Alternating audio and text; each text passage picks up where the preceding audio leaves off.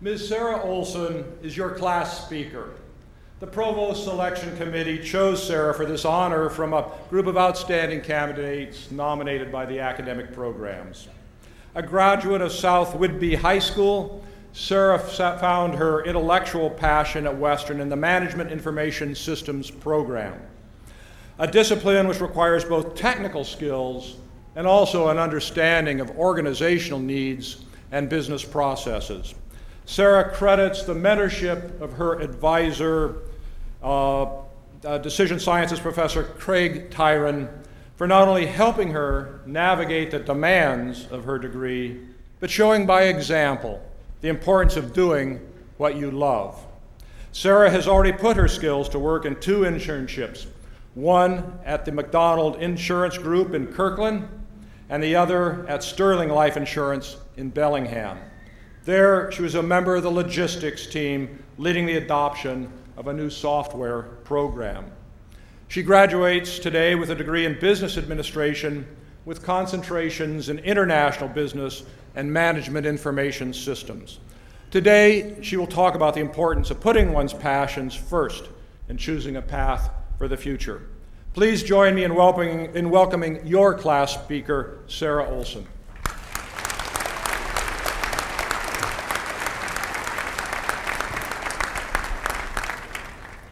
Good morning, everyone, and congratulations to all of my fellow graduates. It has been no small feat to reach this point, and you should be recognized and praised for all your hard work and dedication to make it to this day. Today is your graduation. It is your day to celebrate with family and friends. It is your day to reflect on everything you've been through during your college career. It is your day to be on top of the world because soon we'll all be moving on, starting the next adventure in our lives. Before our happy life as a college student comes to a close, I would like to reflect on some of the experiences we've shared here during our years at Western. I'll start in the beginning, the very first day of classes freshman year. Some of the best advice I've ever been given came on that first day. I was in orientation along with hundreds of other wide eyed, excited freshmen, trying to remember which dining hall I was supposed to eat at, where I needed to buy my books, and looking for cute boys. The advice I got that day originally stood out to me as odd advice, but as a somewhat klutzy individual, I made a mental note of it. The advice was simple be careful to not trip on the bricks. I'm sure many of you heard the same advice, and probably soon afterwards understood why it was given. The bricks that make our campus beautiful can also be obstacles on our way to class. I can't count the number of times I've tripped on one or gotten my shoes soaked by a geyser of rainwater when I stepped on it.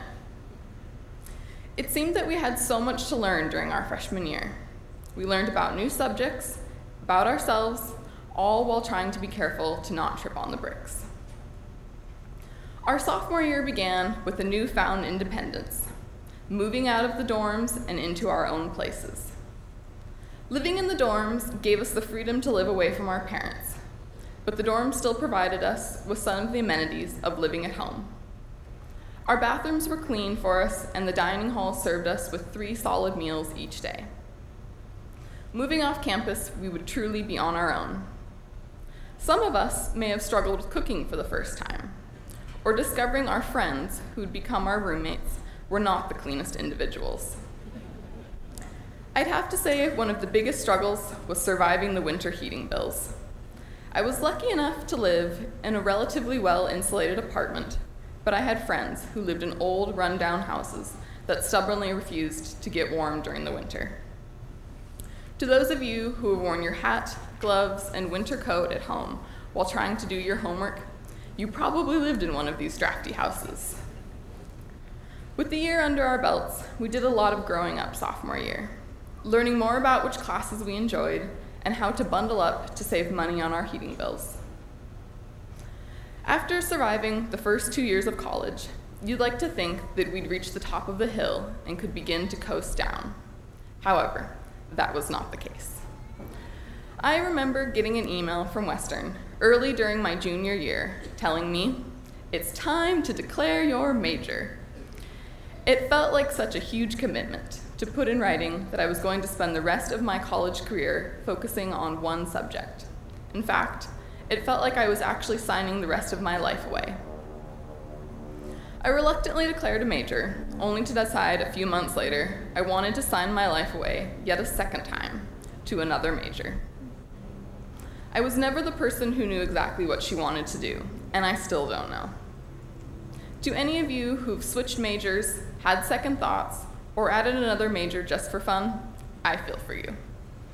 To those of you who have always known what you want to do in life and are doing it, you're beyond incredible, and I only wish I could be more like you. I remember my senior slash super senior year was filled with the fears and excitement of graduating, trying to squeeze in as many last minute adventures with friends as possible, and sampling the many fine beers of Boundary Bay. It hasn't been easy to finish those last 400 level classes while battling a seriously contagious case of senioritis, but we did it. We survived all nighters studying until our brains could process no more. We've met incredible people and made lifelong friends. We've survived snow and ice storms, the never ending rain, and the famous Bellingham wind, all while still making it to class on time. We've made this an experience of our own and taken lessons from it. At times, it wasn't an easy four, five, or even six years, but we've managed to make it through to the end. Today marks the end of college and the beginning of everything else. Now, many of you may not know what that everything else is. It's okay if you don't know. I want to encourage all of you to think about your passions and go after what will make you complete. I want to urge all of you to be true to yourself it takes perseverance and guts to go after what you truly want in life. If you aren't sure what that is, continue to explore the world. What is right for you is out there somewhere. During your time exploring, you will probably discover you're beginning a new chapter, just like we all did when we started our freshman year. There will be new things we learn about life and ourselves. There will be decisions that need to be made about our path in life. There will be good times and there will be bad. As we leave Western, we are embarking on a new freshman year, and we will find that there is a new set of bricks out there waiting to trip us up. When you encounter those bricks, don't let them keep you down. Pick those darn things up and make something of them. Before I conclude, I would like to thank all the parents, family members, friends, professors, and others who have joined us today for today's graduation celebration. Thank you all for supporting our education, our decisions, our finances, and providing us a home cooked meal when we grow tired of Easy Mac and Top Ramen. While there is only one name on each of our diplomas, we could, have not, we could not have done it without you. To those of you sitting in the grandstands, thank you all so much for making this day a reality for us. Last, to my fellow graduates, I wish each and every one of you the very best with your future endeavors. Enjoy the day, eat, drink, and be merry. Thank you.